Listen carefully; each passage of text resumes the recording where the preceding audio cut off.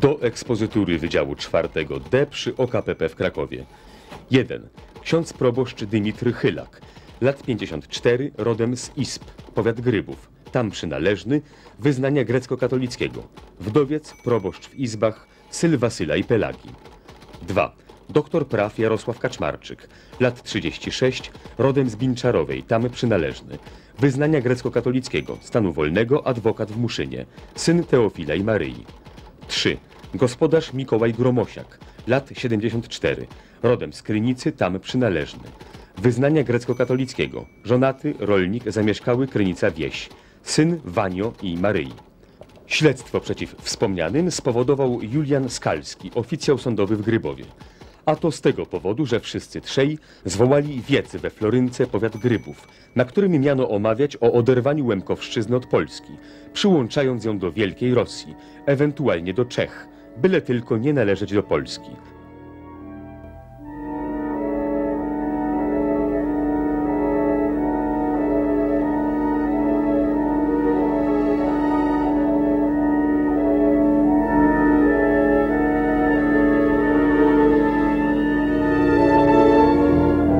Wzruszenie mnie ogarnia, że jak się patrzę na tą szkołę, do której chodziły moi przodkowie, yy, ciotki, nawet ojciec chodził, bo mój dziadek tu przyszedł w 1910 roku na parafię. Tutaj też i nauczał religii. Czym była szkoła dla wsi? To było poza cerkwią. Ko- Szkoła była centralnym punktem wszy- wszystkich wydarzeń, jakie miały miejsce we wsi. Nie tylko odbywała się nauka szkolna, podstawowa, ale odbywały się wszelkie, wszelkiego rodzaju zgromadzenia, spotkania władz z ludnością wsi. Mieszkał tutaj nauczyciel z rodziną, no i były te dwie klasy, w której się dzieci nauczały języka. Nauza, nauczały się języka ruskiego, tak jak, jak na świadectwach pisało się wówczas. W początku dominacja księdza była y, zupełna i całkowita. Później z czasem przysz, przyszedł konkurent dla, księ, dla duchowieństwa w postaci księ, y, nauczyciela. Często nauczyciel przychodził innej orientacji politycznej niż ksiądz. Dochodziło do spięć. Miały miejsca i tu spięcia w Florynce między moim dziadkiem a nauczycielami. To był początek przyszłych konfliktów na tle politycznym między orientacją staroruską a orientacją ukraińską. elita grupy, inteligencja y, głównie duchowna, księża grecko-katolicy, ale z biegiem czasu także i coraz więcej inteligencji świeckiej, y, musiała odpowiedzieć na pytanie, kim jesteśmy. Początkowa odpowiedź była dosyć prosta: nie jesteśmy Polakami. Ale potem zaczęły się problemy. Pierwsza generacja, y, która zetknęła się z tą kwestią, przede wszystkim mówiła o tradycjach, o dziedzictwie kultury Rusi Kijowskiej. Y, W ten sposób pojawiła się orientacja starorusińska.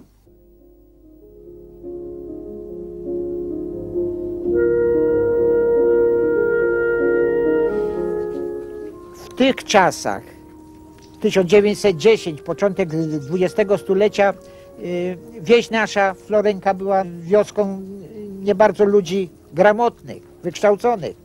Powstawały różnego rodzaju czytelnie. Tu w Florence była czytelnia imieniem Kaczkowskiego. Dziadek opiekował się tą y, czytelnią, dostarczał książki, w miarę możliwości przychodziły gazety. To wszystko było drogie rzeczy, także wszystko szło poprzez plebanie do czytelni. Ukraińcy mieli wielki problem, jak dotrzeć do ludności y, Łemkowszczyzny. Inteligencja tutejsza była wyjątkowo zwarta, solidarna wewnętrznie, z silnym poczuciem odrębności regionalnej. Y, Podobnie było, jeżeli chodzi o ludność wiejską. Wystarczy powiedzieć, że na około y, 300 wsi łemkowskich y, istniało ponad 100 czytelń Towarzystwa Kaczkowskiego i zaledwie 22, 22 czytelnie proswity przed rokiem 1914.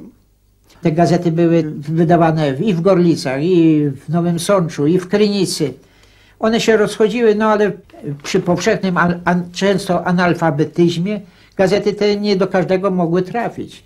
Były pisane w tak zwanym jazyczu, to znaczy w języku takim mieszanym języka rosyjskiego, ukraińskiego, czasem i słowackiego. Każdy starał się pisać jak mógł. Starał się głosić różne hasła, różne poglądy polityczne. I prasa tego czasu podkreśla jakiś wrogi stosunek do orientacji ukraińskiej.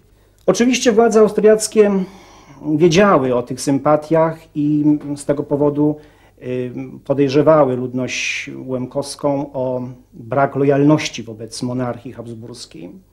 Jeszcze grubo przed rokiem 1914 władze starościńskie, y, policja y, zestawiały listy osób podejrzanych o sprzyjanie Rosji, listy rusofili. Wzywam pana, aby stosownie do życzenia wyrażonego ze strony władz wojskowych doniósł mi do dni ośmiu, jaki jest w przybliżeniu procentowy stosunek liczby ludności w powiecie należących do partii politycznych. 1. Rusofilów radykalnych, partii Dudykiewicza. 2. Rusofilów umiarkowanych, starorusinów. 3. Ukrainofilów. Wymienić przy tym należy głównych przywódców i agitatorów powyższych partii w tamtejszym powiecie, podając ich imię i nazwisko, zajęcie, stanowisko społeczne i miejsce stałego zamieszkania. CK Namiestnik Bobrzyński. I gdy wybuchła wojna, właśnie Łękowszczyzna stała się obszarem y, największych łowów na tych y, podejrzane, te podejrzane osoby.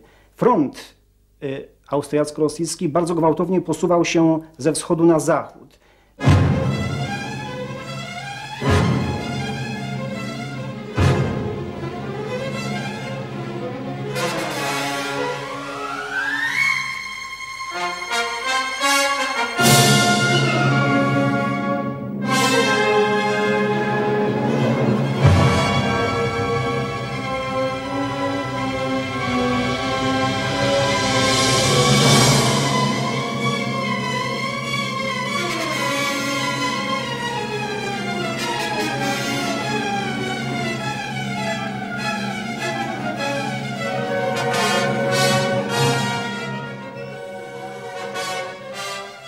Szalały sądy polowe, wojskowe. Wszędzie szukano zdrajców monarchii austriackiej. Wszędzie węszono szpiegów rosyjskich.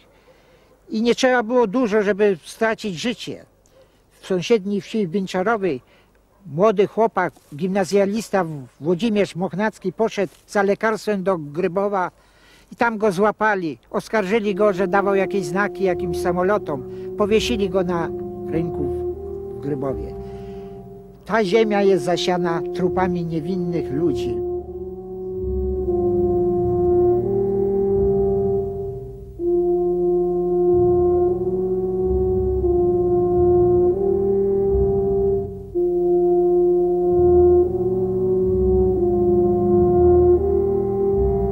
W pierwszych dniach wszyscy ci, co głosili wielką miłość do, do Rosji, byli, zostali aresztowani. Między innymi został aresztowany mój dziad i mój ojciec, którzy głosili podobne hasła. Stąd się zapełnił obóz pełny w Talerhofie, w Talerhofie, gdzie siedzieli nie tylko Łemkowie, bo jest spis, ile Łemków było, ile było z, Galicji. Nie trzeba było dużo, żeby się dostać do Talerhofu. Trzeba było tylko coś może pozytywnego o Rosji powiedzieć, o prawosławiu i już się znalazł bilet do koncentracyjnego obozu w Talerhofie. Mam przed sobą pewne pamiątki, które dziad zostawił. Taki krzyż, taką gablotkę zrobioną przez więźniów w Talerhofie z 1914 roku. Tu znajduje się modlitewnik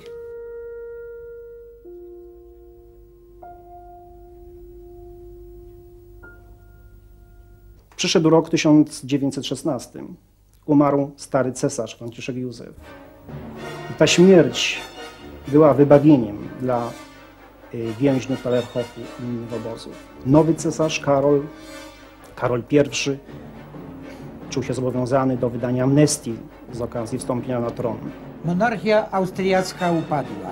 Powstał czas anarchii. Na polecenie Polskiej Komisji Likwidacyjnej w Krakowie utworzyła się Powiatowa Polska Komisja Likwidacyjna w Grybowie jako najwyższa władza, która objęła z dniem 4 listopada 1918 roku ogólny zarząd powiatu grybowskiego. Wysłannik y, Komisji Likwidacyjnej przywiózł do mego dziada pismo, które wzywało do współpracy. Przyszły informacje z Ameryki o programie prezydenta Stanów Zjednoczonych, y, który głosił prawo samostanowienia narodów. Przyszły wieści o tym, że sąsiedzi Łemkowszczyzny e, zaczynają budować własne państwa narodowe, Polacy, Czesi razem ze Słowakami. W Lwowie na przełomie października listopada inicjatywę przejęli Ukraińcy, którzy ogłosili tam powstanie Zachodnio-Ukraińskiej Republiki Ludowej. Republiki, która miała także, przynajmniej w sposób teoretyczny, objąć Łemkowszczyznę. Dnia 5 grudnia 1918 roku mój dziadek zwołał wielki wiec wszystkich mieszkańców Florynki i pobliskich okolic. Celem wiecu było powołanie Rady Ruskiej Powiatu Grybowskiego. Odbyło to się rano, naród się zebrał przed cerkwią. Przy tej uroczystości kościelnej, cerkiewnej dziad włożył epitrachil.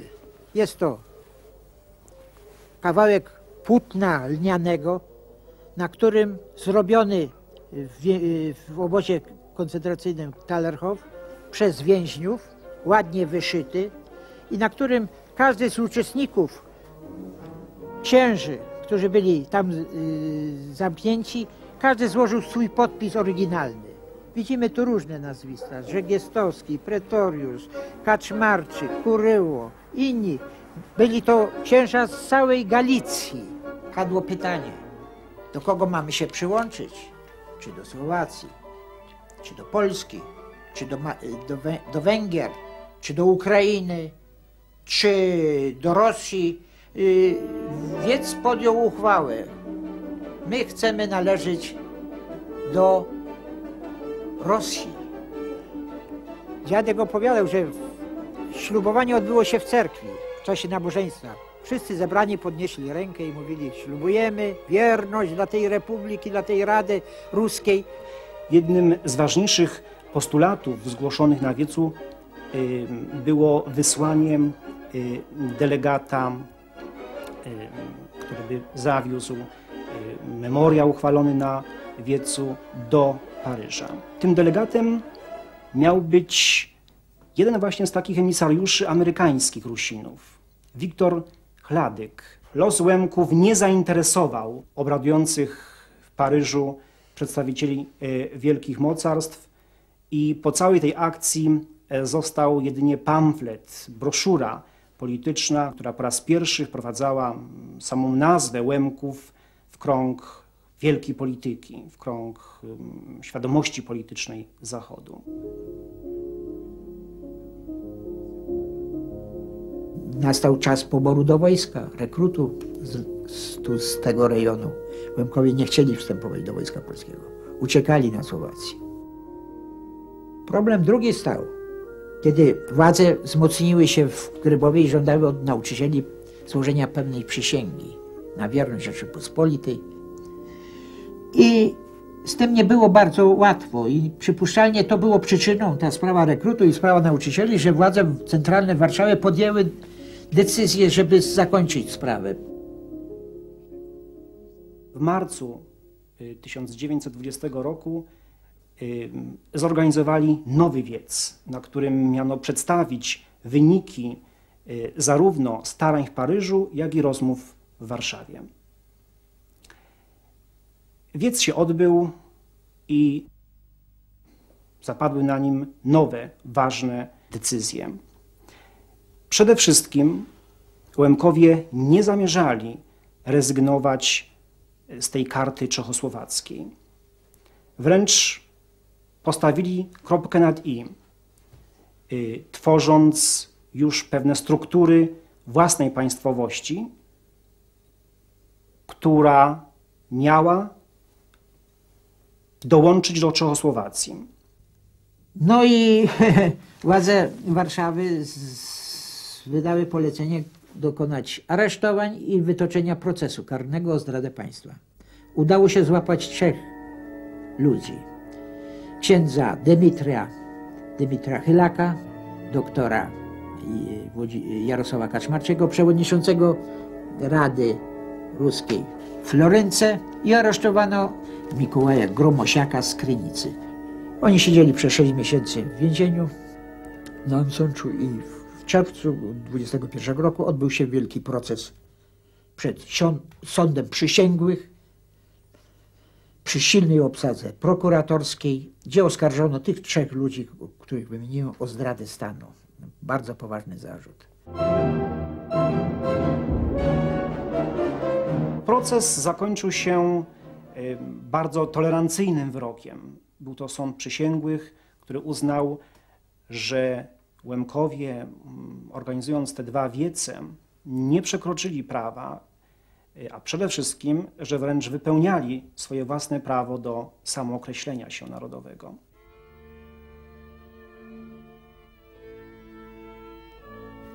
Jaki spotkał los y, Dymit Chylak w ramach wielkiej akcji przechodzenia Łemkoszczyzny na prawosławie był jednym z przod, przodujących księży, który przeszedł na prawosławie, umarł śmiercią naturalną.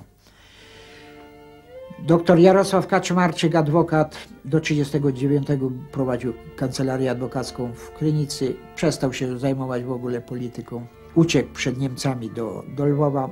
Zginął w gułagu NKWD pod Moskwą.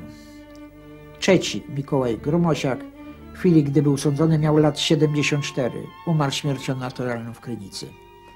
Mój dziadek, który całe życie spędził na pracy duszpasterskiej na Lemkoszczyźnie, został przeniesiony karnie do powiatu lubaczowskiego, do wsi Podemszczyzna, gdzie umarł.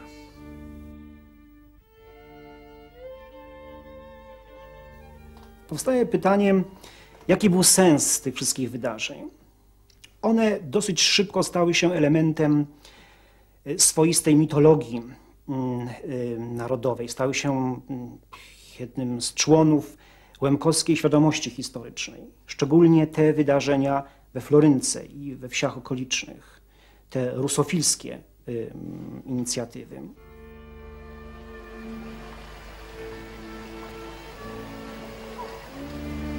W tej chwili w ogóle Florynka jako, jako społeczność grekokatolicka zginęła już bezpowrotnie, bo tu jest jeden człowiek pochodzenia łemkowskiego. Nikt nie wrócił, nie ma szans powrotu i właściwie nikt już do Florynki nie wróci.